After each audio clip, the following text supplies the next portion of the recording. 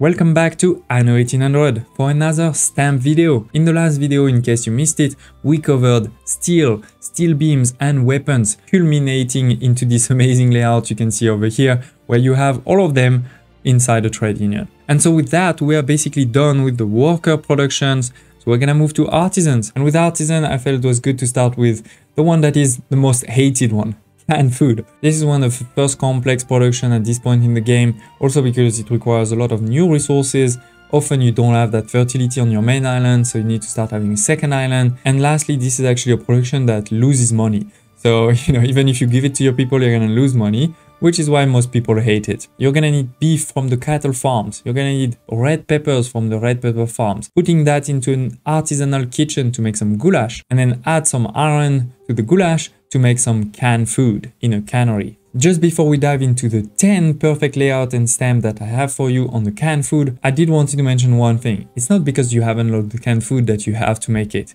Usually my suggestion is wait until this is the last good remaining for you to move to engineer before you do it. Don't do it before, there's no point. Apart from that, remember that in the video description below, you can find the link to join my Discord community. This is completely free. And of course, on top of being able to chat with myself and many other Anno fans, strategy fans, you can also find all of those stamps for free there. But if you want to contribute to the channel, don't hesitate to also check my new Patreon page. You can also find the link in the video description below. Joining there can give you access to tons of benefits. But for everybody else, let's dive in. The first one is your basic all-in-one production stamp. I've also put it next to an iron mine. Of course, if you don't have an iron mine or if your iron mine is further away, that's also okay, right? But remember, you will need iron. Now with this one, we'll be able to produce two canned food per minute with perfect ratio on the goulash, on the pepper, on the beef, and you're even producing more iron than needed with just one mine. This is coming from three of those canneries over here.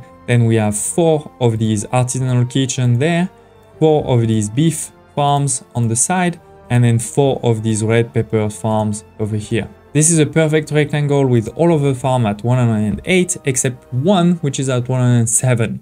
Then in the middle we have two warehouses, the police station and the fire station. So all included, you really shouldn't have any problems. So while this is the most basic one, it's already slightly complex. There's a lot of different productions, a lot of different ratios. In particular, for example, the three of these for four of these, make sure that you know you have the right numbers. Don't hesitate to tell me in the comments below if you know you have any question about this. But yeah, this is the normal canned food production. Then I'm going through a number of different ones, some dedicated, some with trade unions, no particular order to be honest. So the second one over here is a mixed trade union where you have both the cannery and you have the artisanal kitchen.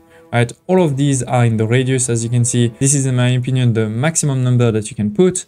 You can see there's some smart roads, for example over here, you know, this one is only accessible through this road this one is accessible through that road. And all of these, you know, are really at the limit of the trade union radius. But now if you don't have any working condition or items, you're already at 7 with a slight underproduction on the goulash. So you'll definitely want, for example, to increase slightly the working condition, even if you don't have items.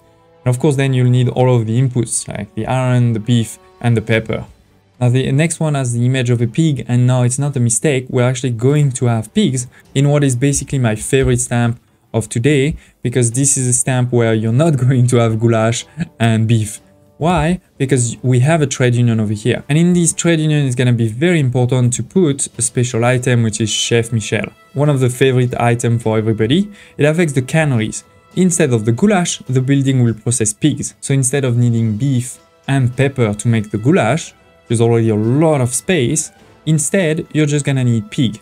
So now if I look at my canneries, right, I have the iron and just the pig. And with that, I'll make the canned food. Which is why, you know, this is a layout where you already have everything except the iron. But, you know, if I have an iron deposit over here, I just need the rod and then I'm done.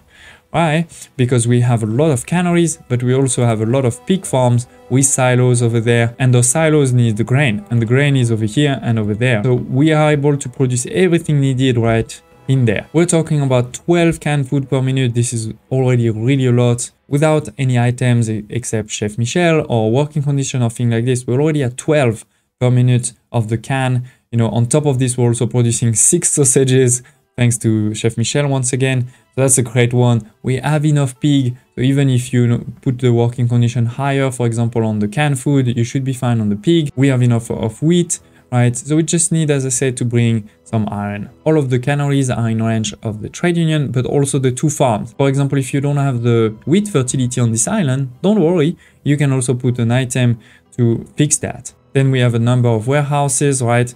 In all of the corners. Definitely enough police station and fire station. Both of the grain farms are not at 144, but don't worry, that's totally fine because we don't need them to work at 100% given the number of silos that we have. So yes, I'm really proud of this one. I'd love to hear your thoughts in the comments below. You know, have you used something like this? Have you created the exact same without me knowing? Love to hear your thoughts. And of course, again, don't hesitate to download it on the Discord community. Okay, I said that was my favorite one, but don't worry, we still have some very cool ones coming up. First one is just normal cannery dedicated trade union for the canneries. As you can see over here, they're all in range.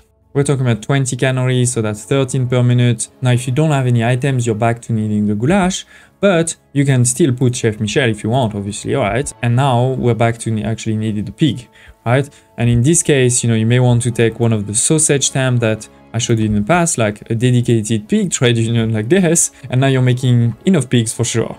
If you need to make some goulash, you're gonna need a lot of beef. And there's actually a few other times you may want beef, for example for lifestyle needs. So I've also created some beef layout. The first one is very simple, not that great to be honest, because there's no police station or fire station or those type of things. So it's not fully optimized. But what's great with something like this is you can easily duplicate it, right?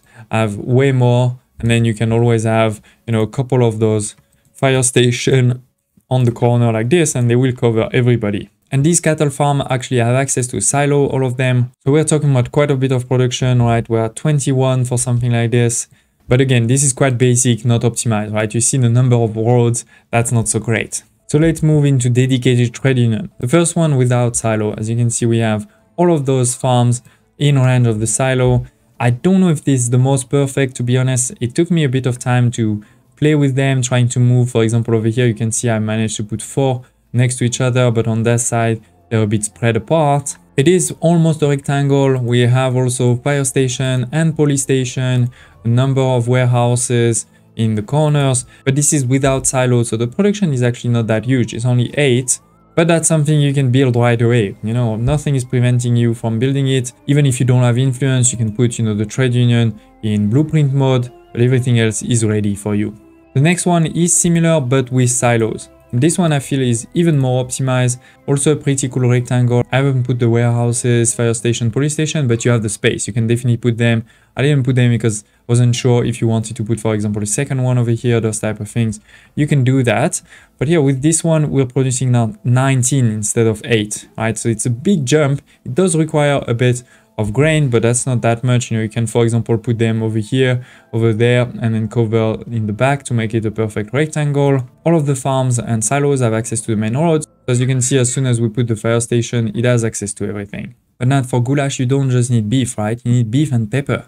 So first of all, let me show you one where you have both of them. It doesn't have police station or fire station, but once again, it's those type of layouts that are very easy, you know, to duplicate like this. And then you can have the police station and fire station in the middle, something like this, for example, you know, you can put one on each side and you'll be perfectly set. Each of these blocks is four buildings, so that's a production of two.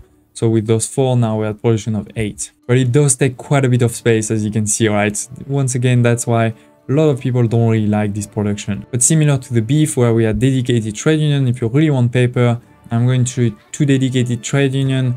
The first one is just the basic one. There is no silos, no tractor, nothing. Right? All of the farms are in the range of the trade union. I think we're talking about 40 if I remember correctly. 44, sorry, 44 pepper farms. So even if you don't have any items, working condition, etc., you're already at 22 of productions. But that's nothing compared to the fully optimized one that you can see over here, where we moved on from 44 to 28. So actually you need even less, you know, workers and things like this. But now we're jumping to 93 of production. In exchange, you will need a bit of fuel for the tractors and a bit of fertilizer for the silos.